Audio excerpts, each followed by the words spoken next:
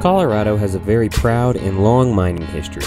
It runs from the early 1860s into the present day. In this series, I will do a show and tell like presentation on a few of the famous mines in Colorado, talking about them then and now, and important events that have happened in their timelines. If you enjoy, please like and subscribe. And if you would like to hear anything about any specific mine, please drop them in the comments.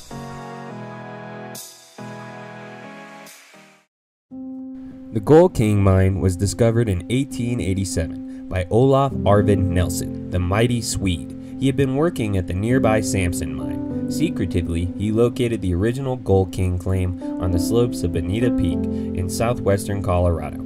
He immediately went to work on it, eventually digging a 50 foot shaft and a 50 foot drift, but he never made money from it. Olaf eventually died of pneumonia in 1891, or perhaps of overwork, in his Howardsville home leaving a widow and six kids. The Gold King claim was patented, giving the title of the land to Luisia, Olaf's widow.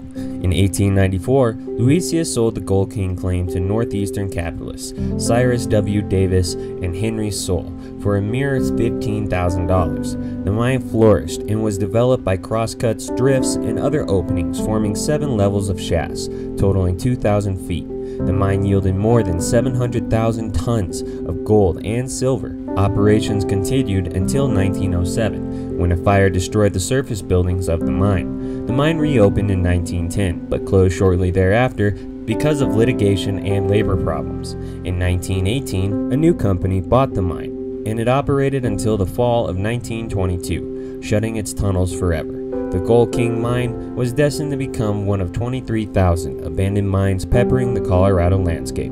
By the end of mining operations, many of the mines were left discharging contaminated water into streams. In 1991, the last big mine in the region, the Sunnyside mine, stopped mining. Its owner, the Sunnyside Gold Corp, agreed not only to bulkhead its mine, but also clean up abandoned mines nearby while continuing to run the metal laden waters of Upper Cement Creek through a water treatment facility. Then, on August 5, 2015, the EPA was investigating the abandoned Gold King mine.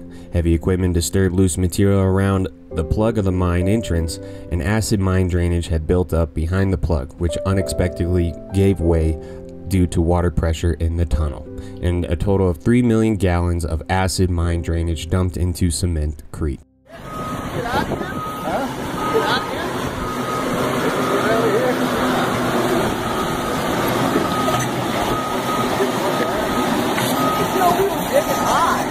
We're digging really high.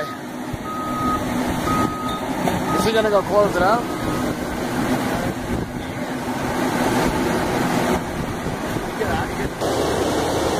Keep going.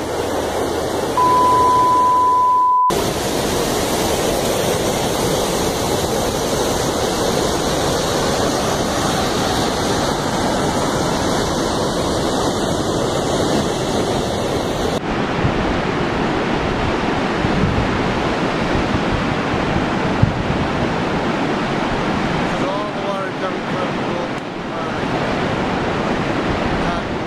The Gold King mine spill occurred in the upper Colorado River Basin. This watershed includes six states Colorado, Utah, New Mexico, Arizona, Nevada, and California, and 12 Native American tribes live along the tributaries.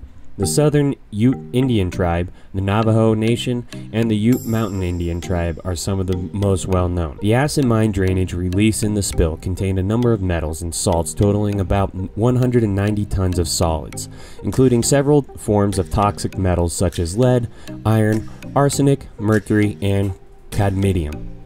These solids were mixed in with approximately 3,043,067 gallons of water. The volume of water in approximately 9 football fields spread out at 1 foot deep.